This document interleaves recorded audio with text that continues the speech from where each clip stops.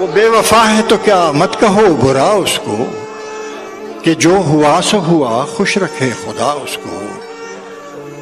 नज़र ना आए तो उसकी तलाश में रहना। नज़र ना आए तो उसकी तलाश में रहना। कहीं मिले तो पलट कर न देखना उसको।